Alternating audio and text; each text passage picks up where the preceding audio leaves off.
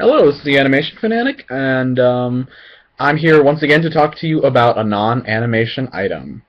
Today, I'm going to talk about a very special book called Angelfall.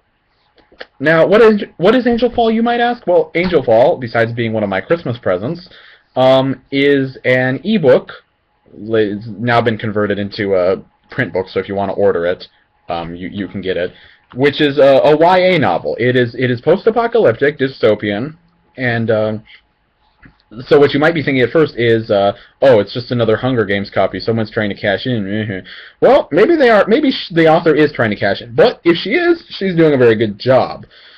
Because the book Angelfall on its own is actually very good and very interesting. And uh, while not quite as good as the Hunger Games, it is a very well written um, piece of literature. Now, let me give you um, some basic story uh, in this. I'm, I'm not going to spoil anything, or I'm going to try not to spoil anything, but I'm, I'm going to give you some basic story.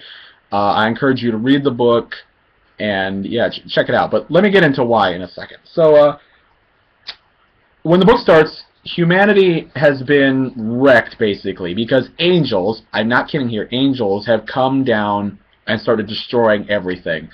Um, the, the story is, is set in San Fran not San Francisco in Northern California, just north of San Francisco, and uh, you know it's been several months since the angel Gabriel appeared to humans and was actually killed. Um, interestingly enough, and uh, I'll, I'll get to this in a moment. You find out a lot of interesting things about angels in this book, but I'll get to that in a moment. Um, and the angels have just ran, run riot all over the humanity and just destroyed every everything. So the world is in chaos. There's no government. Gangs rule the streets. But our story focuses in on a young girl. Um, yeah, Hunger Games reference. Hunger Games much. A young girl, a young 15-year-old girl. I, I, believe she's 15. She's either 15 or 16. Um, or is she 17? She's in that. She's in that age. She's she's pretty young. She's yeah. She's not a young teenage girl who is trying to keep her family alive. Um, difficulty, her mother is actually crazy. Her mother's got some some kind of mental illness. Um, it's not schizophrenia. It's just she's just got a mental illness, and she she thinks she talks to demons. She does a lot of things that don't make any sense. Uh, she's actually fairly dangerous, and it's hinted she might have even been responsible for for our main character's sister's injury. Now, our main character her name's Penryn. It, apparently, she's named after an interstate in San Francisco, in Northern California. Um, her sister Paige is wheelchair bound again because of a previous in injury. So Penryn's got to keep them alive. Only problem is that after seeing an angel, because the angels do come down, after seeing an angel getting his wings torn off and trying to help him a little bit, or at least hurt the other angels, um, Penryn's sister, Paige, gets kidnapped by the angels. And now she and the angel who got his wings torn off have to go and have to go and save her and retrieve the angel's wings. So they start a fun-filled road trip. Fun-filled, fun-filled road trip to San Francisco in order to see what they can do. Um, now this this book might sound a little bit weird to you, but believe me, it is very worth it. It does it does have this sort of strangeness to it especially when you think about angels. You usually think about angels as being good and uh, being, uh, you know, kind and loving and caring. But this is a completely different take on it. They are very destructive. They can be very violent and vindictive. Um, and, and you you do learn a lot about them in this in this book. I won't spoil everything um, here, but you learn a lot about their commands. You learn some stuff about their command structure, how they work and operate, different types of angels, differences between angels and demons, because there there is a difference. There is there is um, it's implied there is a hell in this universe, and there is uh, a, a heaven, and there are demons. Um, you learn stuff that kind of connects to the history of the Bible about the Nephilim, you know, angels and humans' offspring.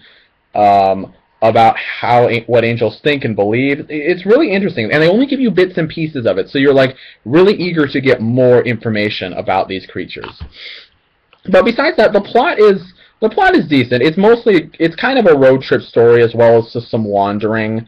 Yeah, kind of some road trip, some wandering, and uh, you know finding your finding your family, bridge between worlds. Nothing we haven't seen before, but it's done decently well. Penryn is a very, uh, our main character is a very engaging um, girl. She's a very uh, nice, interesting character. Uh, she's she can take care of herself because of self-defense classes. Nice explanation. But she is um, not not quite as whiny, I would say, as Katniss does get at some points. She takes everything in stride. She plans, she plots, and you just can't help but like her and her struggle to find her sister. You feel sorry for her, you care for her, and uh, you know you struggle along with her as she tries to help and save her family and do what she can for them. Um, Raphael, Raphael, the main angel, or Raph as he's called, uh, without his wings, is at first not entirely likable. Actually, throughout the book, he can be very unlikable. But you do start to see and enjoy the connection between him and Penryn. Although some of it is a little bit like, oh, eye candy, oh, he's hot, I, I like him. Uh, but you'll, you'll see that when you read the book. Um, yeah, the plot, like I said, it isn't the strongest. You've seen stuff like this, you've seen that before, but the world and the different things that they put into this is just so strange that it mixes it up in just the right way. Um, I really like how they kind of threw these little curveballs into what could have been a very generic story um, about angels and humans and different worlds interacting. Uh, so what would I give it? I, I'd give it a, probably, probably an 8 out of 10, a 9 out of 8.5 out of 10. I would highly recommend you to go see it. Uh, not see it, to read it. but you will be able to see it one day because it is going to be made into a movie. I don't know when, but it will be made into one. So I recommend you go and read the book now. There's a second book out. I have not seen that book. I have not read that book.